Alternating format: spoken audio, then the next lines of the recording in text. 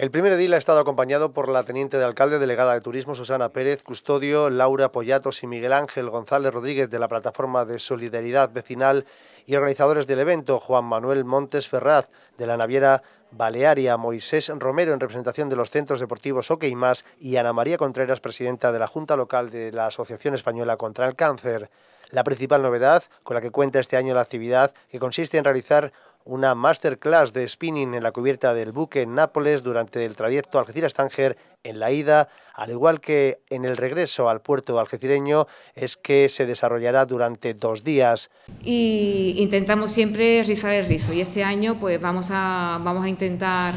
eh, mejorar y, y que muchos riders que vienen de todas partes de España por primera vez a Algeciras con motivo del evento pues se lleven una buena impresión de nuestra zona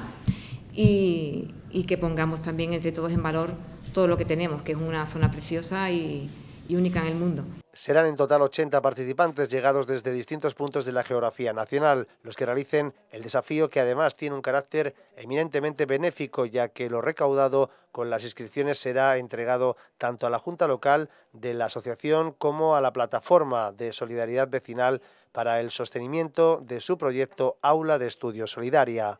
El primer edil ha felicitado a los responsables de la iniciativa, deseando que este año el evento supere las cotas de éxito alcanzadas en las ediciones anteriores.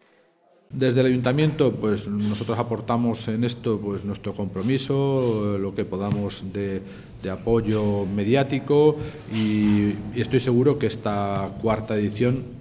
va a ser un éxito superior aún a los que ya consiguieron las anteriores. Eh,